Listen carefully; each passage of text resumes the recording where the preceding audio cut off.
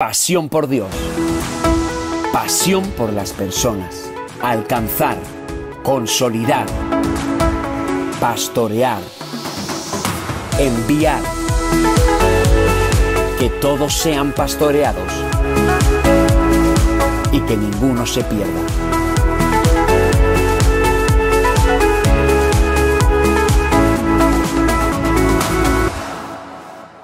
Iglesia Betel.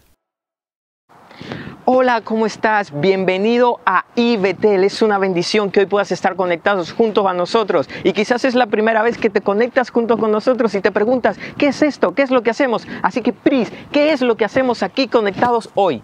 Pues somos la iglesia IBETEL online. Es decir, para aquellos que quizás no os podéis reunir presencialmente, nos conectamos vía YouTube para que podamos juntos adorar a Dios y escuchar de su palabra. Qué increíble poder hacer esto, ¿verdad, Luigi? Claro que sí. Y por eso hoy estamos reunidos aquí para adorar el nombre de nuestro Señor. Así que vamos a ello. ¿Qué te parece si oramos y a través de las alabanzas, a través de todo lo que hagamos en esta reunión, le damos la gloria de vida a su nombre? Señor Jesús, te damos gracias, Dios.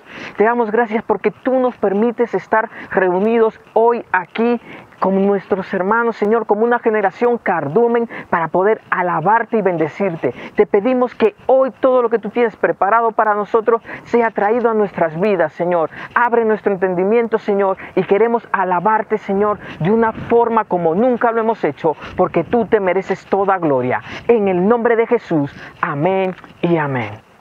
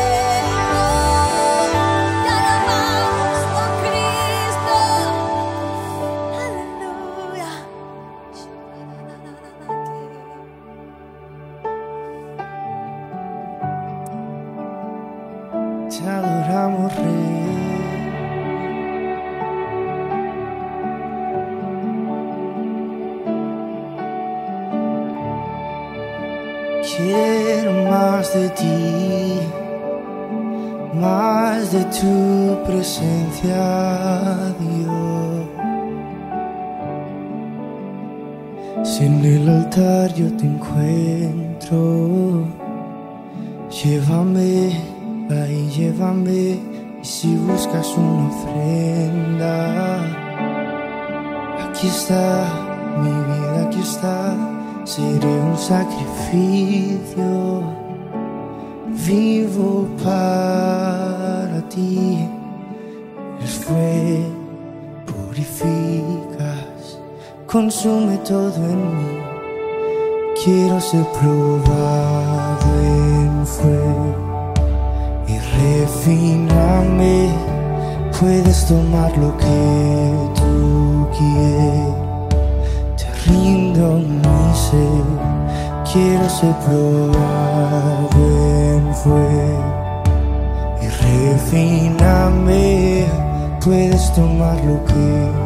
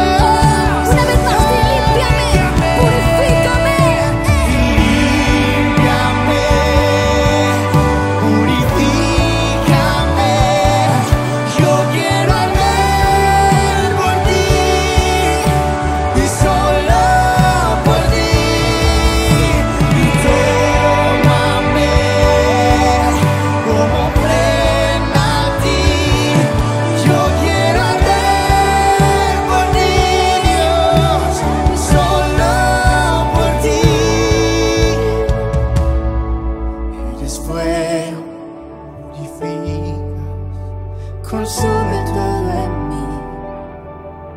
Eres fuego, purifica, consume todo en mí.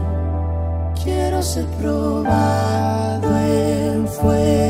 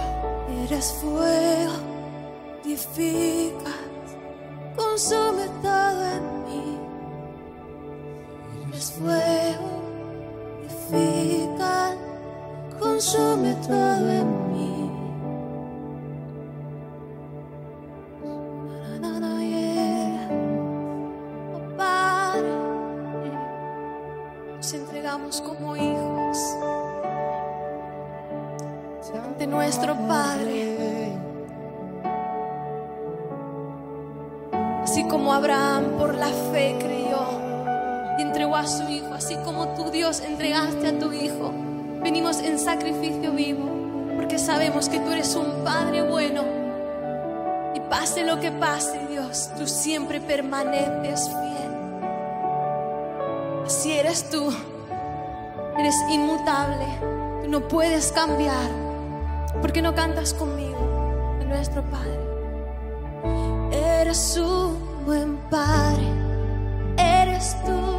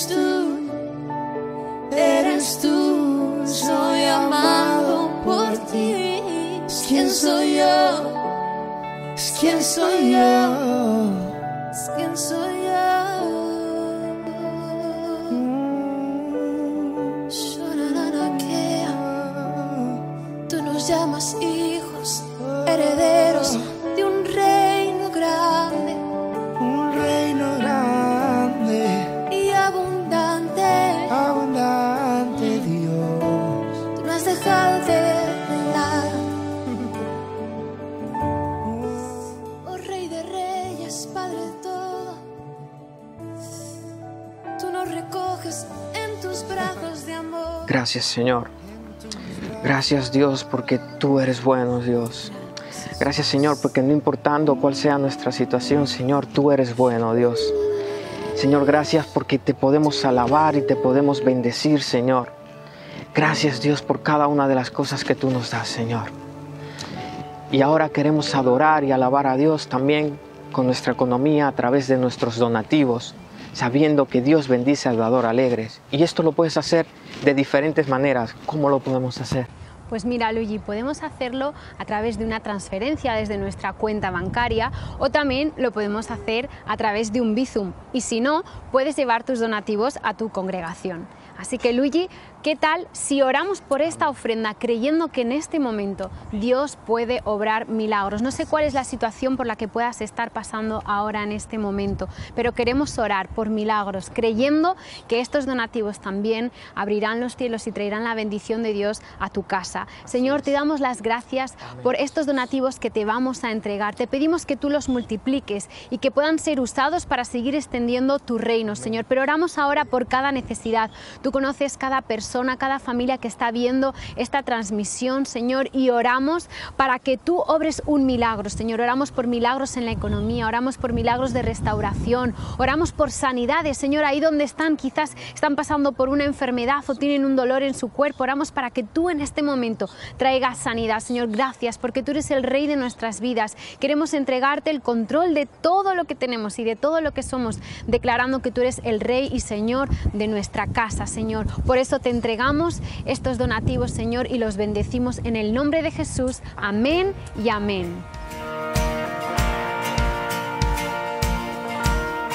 Escucha esto. Vi caer al enemigo. Vi a la oscuridad huyendo. Pero el milagro que yo no comprendo, mi escrito está en el cielo. Creo en señales y prodigios. Su poder he recibido. Pero el milagro que yo no comprendo, mi nombre escrito está en el cielo.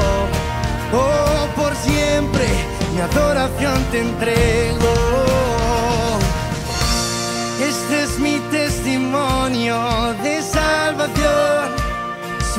Cambió mi historia, me perdonó. Por medio de la cruz me justificó. Este es mi testimonio, este es mi testimonio. Sí, Señor.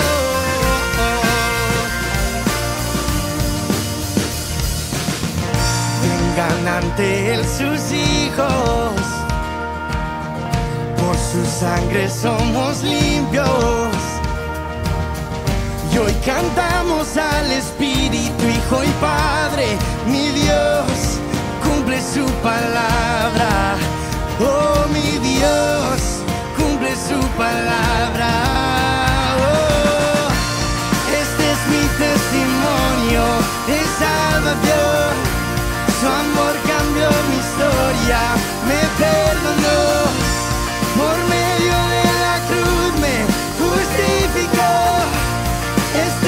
testimonio, este es mi testimonio. Este es mi testimonio, Dios. Sí, Señor. Si vivo estoy, no es el final. Mayores cosas aún vendrán si vivo estoy, no es el final. Mayores cosas aún vendrán. Si vivo estoy, no es el final. Mayores cosas aún vendrán. Lo creeré. Si vivo estoy, no es el final. Mayores cosas aún vendrán.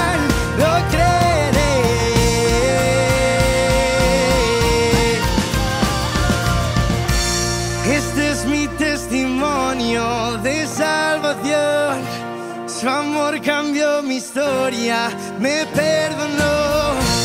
Por medio de la cruz me justificó. Este es mi testimonio, que vivo soy. Este es mi testimonio de salvación. Su amor cambió mi historia, me perdonó.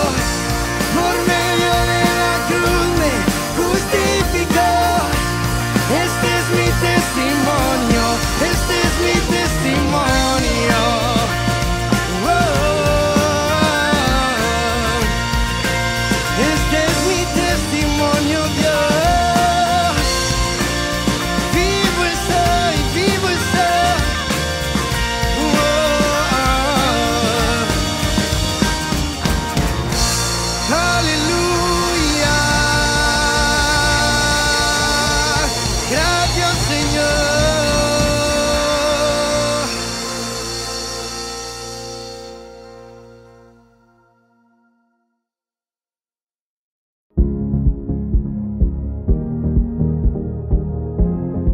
Ahora queremos informarte de algunas actividades que van a pasar durante esta semana que tienen que ver con la vida de la iglesia. El martes a las 8 de la tarde a través de Facebook Live tendremos nuestro culto El Poder del Testimonio. El día miércoles, a través de Vía Zoom, nos reunimos todos juntos a orar. A las 6 de la mañana te esperamos. Y también el día jueves tenemos grupos pastorales. Conecta con tu líder pastoral para saber en qué momento os vais a conectar. El sábado expansivo no te puedes perder lo que va a ocurrir. Sigue las redes sociales para que te puedas informar de cómo va a ser la reunión este sábado o contacta con tu líder de Onda Expansiva. Nos preparamos para el culto de bautismos que tendrá lugar el mes de septiembre. Por eso, prepárate y si quieres bautizarte, conecta con tu líder pastoral o tu pastor de congregación para prepararte para ese día.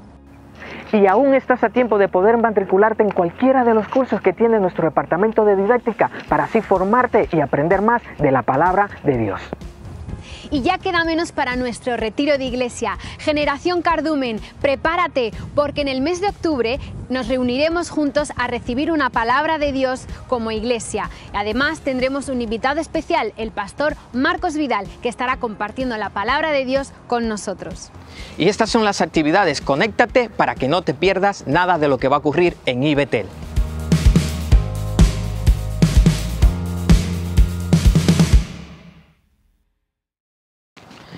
Ahora ha llegado el tiempo especial, un tiempo donde Dios quiere traer palabra específica para tu vida. Estamos muy expectantes. Además, hoy tenemos con nosotros y nosotras a Débora Romo. Así que este es tu tiempo.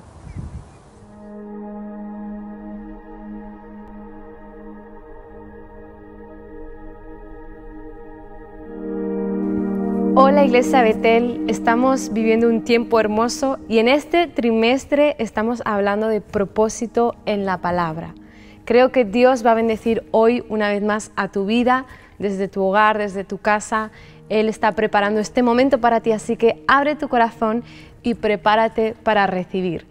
No sé si alguna vez te has preguntado a qué sabe la provisión de Dios.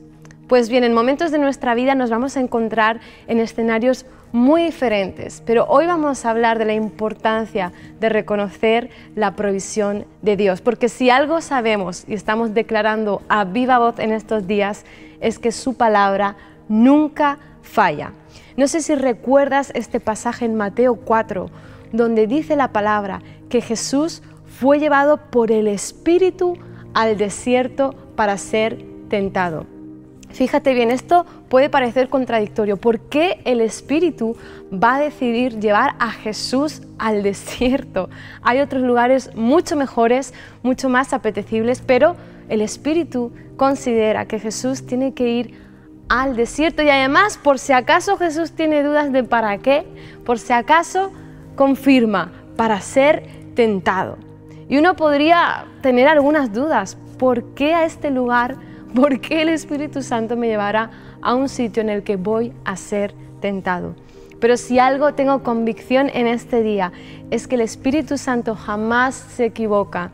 Todo lo que Él hace tiene un propósito. Así que en este momento Jesús es llevado al desierto y como dice en la palabra, llega Satanás, llega el tentador. Y lo que llama la atención es que el tentador llega a Jesús también con palabras. Llega con la misma palabra, llega con palabras que están escritas y empieza a traer confusión, empieza a traer duda, empieza a traer preguntas. Satanás le dice a Jesús, mira, tú llevas mucho tiempo aquí en el desierto, tienes hambre, has estado ayunando, seguro que si tú le dices a estas piedras que se conviertan en pan, esto sucederá.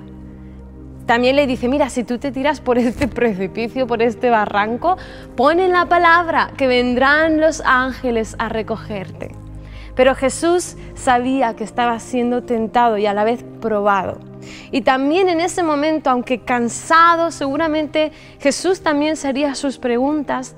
Pero hay algo que me encanta de Mateo 4 en este momento que el tentador llega con palabras, Jesús reconoce que la palabra de Dios solo tiene autoridad en la boca de los hijos e hijas de Dios. Jesús en este momento reconoce que aunque Satanás pueda estar usando la propia palabra, la escritura, Él sabe que solo en boca de Jesús va a tener un poder y una autoridad suficiente para desatar un milagro. En ese momento cuando Jesús empieza a declarar la palabra de Dios y dice, escrito está, solo al Señor tu Dios adorarás. Cuando Jesús pronuncia estas palabras es cuando el tentador, cuando Satanás tiene que huir. Pronuncia la palabra de Dios, declara la palabra de Dios, porque escrito está. Es en tu boca que la palabra de Dios toma autoridad solo en la boca de los hijos e hijas de Dios. Pero mira, en este momento, cuando Jesús está ahí, uno puede pensar, ok, el desierto es un momento de prueba, ¿verdad? Un momento... A nadie nos gusta experimentar y pasar por estos desiertos, pero hoy quiero decirte algo más. En estos días Dios me mostraba que el desierto no va a ser solo o no va a ser exclusivamente un momento de prueba, también va a ser un momento de provisión. En ocasiones Dios nos va a llevar a desiertos para probarnos. En otras ocasiones, Dios nos va a llevar a los desiertos para proveernos. Y uno puede pensar, ¿cómo? ¿Cómo puede ser que Dios me provea en medio de un desierto? Pues vemos el, el ejemplo del pueblo de Israel. ¿Verdad? Ellos llevaban un tiempo ya caminando, habían visto grandes prodigios y señales, habían salido por fin de Egipto, habían visto cómo el mar se abrían dos, cómo los egipcios fueron derrotados, pero de pronto empiezan a tener hambre y empiezan a decir, Moisés, por favor, necesitamos comer. Que Dios nos mande algo, necesitamos nutrirnos, necesitamos un alimento. Y en ese momento Dios responde, como siempre, aunque a veces quejosos muchas veces, pero Dios que es bueno y cumple su palabra, Él responde y Él envía lo que conocemos todos como el maná. Sabes, me encanta porque Tal vez Dios proveyó a su pueblo de una forma que ellos no esperaban. Estoy convencida de que tal vez ellos frente a sus súplicas esperaban ver crecer algún árbol en el desierto o aparecer algún animal, pero Dios decidió de qué forma Él quería proveer a su pueblo. Es más, la palabra maná significa ¿qué es esto? ¿Esto qué es? Puedes imaginarte el momento en el que el pueblo de Israel está en el desierto y empieza a caer un alimento del cielo que no saben lo que es, Y de hecho ellos empiezan a preguntar, ¿qué es esto? ¿Qué es esto? A veces Dios va a proveer a tu vida de formas que no entiendes, de formas que no esperas, pero es exactamente la manera en la que Dios quiere bendecir a tu vida. Y no solo bendecir a tu vida, sino mostrar su poder sobrenatural en medio de tu circunstancia. No era lo que ellos esperaban, no era lo que ellos tal vez esperaban ocurrir, pero era lo que ellos necesitaban de parte de Dios para un momento como este. Me llama la atención que el maná era un alimento suficiente para producir alimento en su propio cuerpo, para nutrir su cuerpo, para que ellos pudieran continuar en su camino. Es más, dice la palabra que tenía un sabor dulce como a miel. Dios preparó el alimento necesario, justo, lo que ellos necesitaban, lo que sus cuerpos necesitaban para sobrevivir en el desierto. Pero además ponen la palabra, si tú lees Éxodo 4, que cada día el maná era lo justo y necesario para cada familia. Es más, si ellos guardaban maná y ellos decían, ay, me voy a guardar un poquito para mañana porque no sabremos, se pudría. Y esto me llama la atención porque Dios nos da lo que necesitamos cada día. Por eso en la palabra Dios aclara, basta cada día su propio mal. Porque Dios sabe que somos personas que siempre ansiamos saber qué viene en el futuro, qué viene mañana. Pero Dios te está pidiendo una fe presente, te está pidiendo que confíes en lo que Dios te está entregando hoy. Disfruta de la provisión que Dios te está entregando hoy, aún en medio del desierto, aunque no entiendas lo que está pasando, pero hay un maná sobrenatural, una provisión específica que Dios te está entregando para este día. Pero sabes qué? En el sexto día, ese día sí que cogían el doble cogían el doble. ¿Sabes por qué? Porque al séptimo día descansaban y descansaba incluso el maná. Y esto me encanta porque Dios siempre honró el descanso. Dios siempre honró la espera. Dios quería que ellos confiaran en todo momento en el control del Padre. Sabes, me encanta este versículo de Isaías 40:31 que repito constantemente a mi vida, que dice que los que esperan en el Señor renovarán las fuerzas, levantarán las alas como las águilas, correrán y no se fatigarán, caminarán y no se cansarán. La espera te fortalece, debes recordar esto. La espera fortalece tu vida. Sabes, mi madre en ocasiones cuando hablamos y pensamos acerca del futuro, ella me dice, mira Débora, la ansiedad es un exceso de futuro. Y esto me hizo pensar a mí estos días en que la fe es un exceso entonces de confianza en Dios. Tú decides de qué quieres exceder, si de desconfianza, de temor, de ansiedad o de una confianza implacable en el Señor, de saber que lo que Él prometió, Él cumplirá. Así que el desierto puede traer prueba, pero también puede traer provisión. ¿Y sabes qué? Esta provisión de Dios, este momento de desierto que ensancha el sitio de tu tienda, te prepara para la tercera P, que es producción. Una vez que ellos llegaron a la tierra por fin, donde fluye la leche y la miel, ellos estaban preparados para producir la tierra, para trabajar la tierra, para ponerse manos a la obra. Y esto es importante. Yo esto no lo pone en la Biblia y, no sé hasta qué punto pueda ser, pero yo, yo estoy convencida de que alguno cuando llegó a la tierra prometida y tuvo que empezar a trabajar y a ponerse manos a la obra, empezaría a añorar ese maná que llegaba tan fácilmente, porque tú estabas con los brazos cruzados, bueno, harían cosas también, ¿no? Ellos estaban ahí en el desierto trabajando con la familia, pero era otro tipo de provisión y, el maná caía del cielo. Y seguro que alguno añoraría ese momento donde yo no tenía que producir la tierra y no tenía que trabajar la tierra porque el maná me caía del cielo. Pero qué bueno poder honrar cada etapa de nuestra vida, estemos donde estemos. Honra la palabra de Dios en tu vida. ¿Por qué? Porque como dice en la Biblia, la palabra de Dios es viva y es eficaz y aún más cortante que toda espada de doble filo. Y me encanta porque dice, y penetra hasta partir el alma y el espíritu, las coyunturas y los tuétanos, y discierne los pensamientos y las intenciones del corazón. Y yo estos días que estamos hablando de nuestra confianza en la palabra, me pregunto, ¿cuánto estoy dejando que la palabra de Dios penetre en mi vida. ¿Cuánto estoy dejando que la palabra de Dios parta mi alma, parta mi espíritu hasta las coyunturas y los tuétanos? No es poca cosa, es la palabra de Dios lo que nos sostiene. Vendrá prueba y aflicción, vendrán muchas otras cosas, pero lo que Dios dijo, Él cumplirá. Mira, en Éxodo 3:21, Dios ya lo dijo, les dijo, y yo daré a este pueblo gracia y yo extenderé mi mano para que cuando salgáis no vayáis con las manos vacías. Dios no va a permitir que tú pases por un desierto con las manos vacías. Dios va a querer siempre entregarte algo. Es más, Dios va a querer entregarte algo en el desierto que solo podría entregarte en un desierto. Dios va a querer mostrarte algo de forma sobrenatural que solo en un desierto podría mostrarte.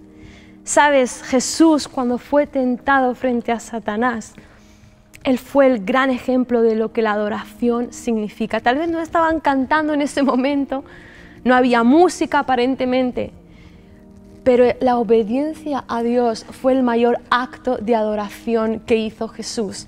Él no se postró delante del tentador. Él dijo, solo ante Dios me arrodillaré.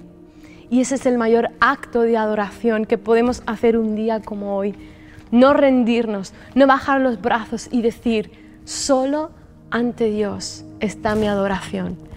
Cada día de mi vida, su palabra está sobre mi boca. Para terminar, quiero decirte, si quieres que tu vida sea prosperada, si realmente quieres ver la mano de Dios sobre ti, recuerda estas palabras que las estamos repitiendo, pero se tienen que hacer carne en nuestra vida, se tienen que atesorar. Dice en Josué 1.8, nunca se apartará de tu boca este libro de la ley, sino que de día y de noche meditarás en él, para que guardes y hagas conforme a todo lo que él, en él está escrito, porque entonces harás prosperar tu camino y todo te saldrá bien. Me encanta la palabra, es una palabra de absolutos. Dice, nunca se aparte el libro de esta boca. Haz todo lo que en ella está escrito y todo te saldrá bien. Dios no es un Dios relativo, Dios es un Dios de absolutos. Y lo que Él dice se cumple, pero debemos guardar su palabra sobre nuestra boca de día y de noche, aunque a veces comprometa nuestra comodidad, aunque a veces comprometa nuestro pensamiento, nuestra realidad. No dejemos de leer la palabra, de meditar en ella, de creer la palabra y todo lo que conforme en ella está escrito. Así que te animo, iglesia, que en este momento puedas cerrar tus ojos. Y te pido, Espíritu Santo, que ahora tú puedas traer una convicción total de que tu palabra es firme, que tu palabra es eterna, que tú eres Jehová Jireh, nuestro proveedor. Padre, gracias por cada momento de desierto donde tú has mostrado tu gloria. Padre, en esta hora recibimos tu maná, recibimos, Señor, tu porción. No queremos, Señor, ser escasos, no queremos darnos la vuelta frente a lo que tú estás haciendo. Padre, permítenos reconocer tu provisión, permítenos reconocer tu mano sobre nuestras vidas, ser personas agradecidas, ser personas que creen que lo que tú has dicho, tú vas a cumplir porque escrito está. Iglesia Betel, que Dios te bendiga profundamente. Recuerda estas palabras, séllalas en tu corazón. Escrito está. Y refíname, puedes tomar lo que tú quieras. Te rindo mi ser.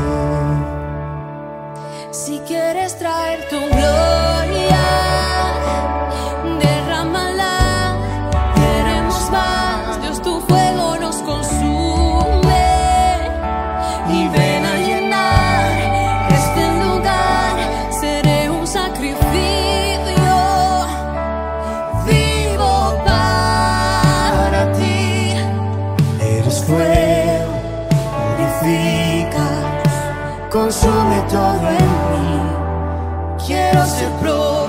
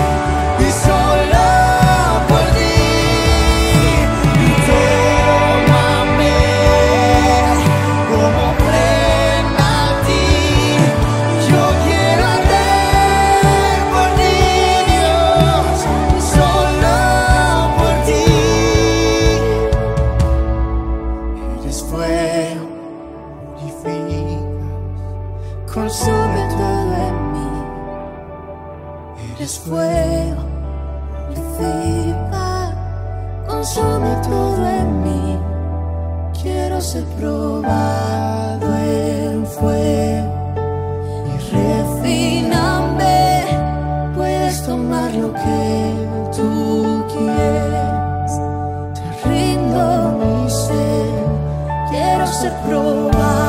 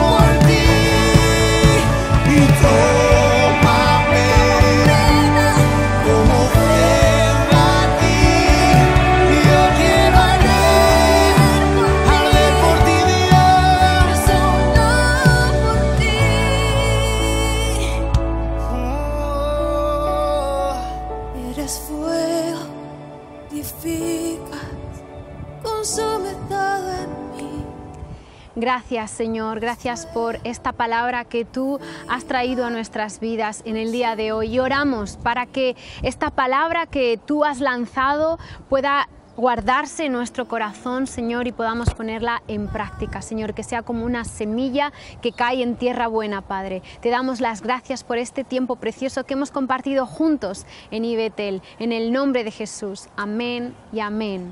Amén. Ya estamos llegando al final. Muchas gracias por estar conectado con nosotros. Si es la primera vez que te conectas, síguenos en nuestras redes sociales. Escríbenos. Queremos orar también por tu petición de oración y queremos que estés conectado juntos con nosotros.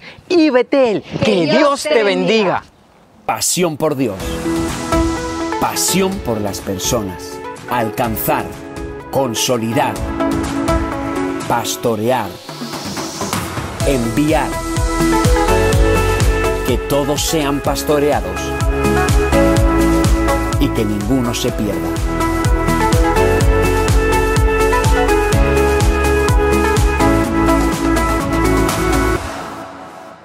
Iglesia Betel.